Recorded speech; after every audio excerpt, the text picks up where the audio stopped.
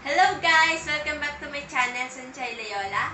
And today, we're going to discuss uh, some top 10 words that are hard to pronounce. So, top 10 English words.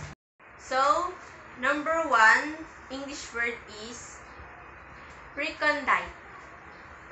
Recondite, spelled E R-E-C-O-N-D-I-T-E. Some uh, some people pronounce that as recondite, but the right pronunciation is recondite. Uh, it sounds like A, but not O. Recondite. Second, number two, conch. Conch, spell is pronunciation is conch and not conch or conch because but the right is conch, silent uh, silent H. Third one is kernel. Yeah. So many people uh, mispronounce it as colonel, but the right uh, pronounce that is kernel.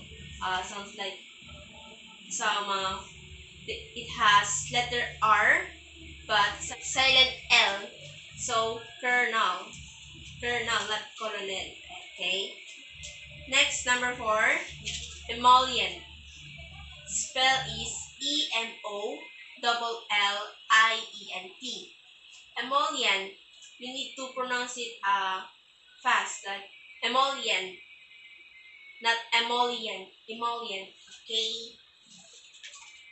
Number five, espresso.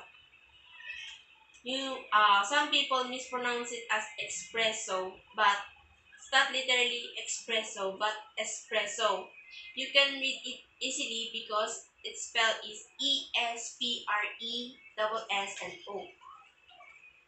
Number six, K.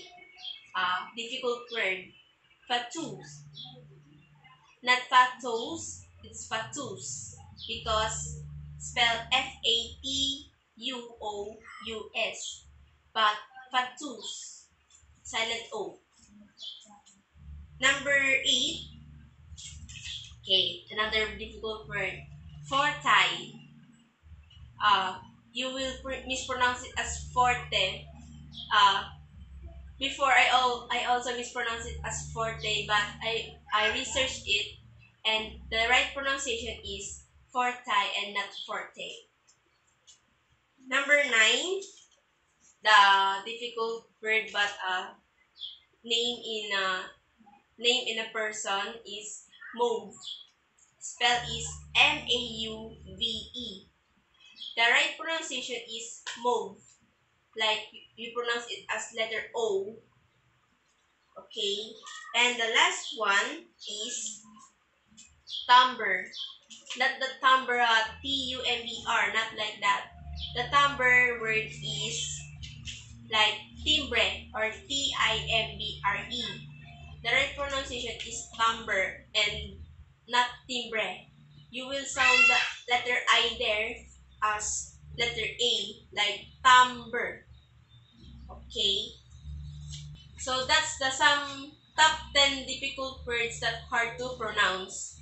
So next time, I will also discuss uh, top 15 words that hard to pronounce and if you have more further questions, don't forget to comment down below so I can answer those questions. And if you have more suggestions, also don't forget to comment. So, so as for now, this will uh, be helpful to other students or other kids that uh, hard to pronounce some difficult words, English words. It will help them to pronounce that word rightfully. So, as of now, uh, I'm just going to teach uh, students or other people for more learning about English. Thank you guys for watching. I hope you like my video. Don't forget to like, share, and comment.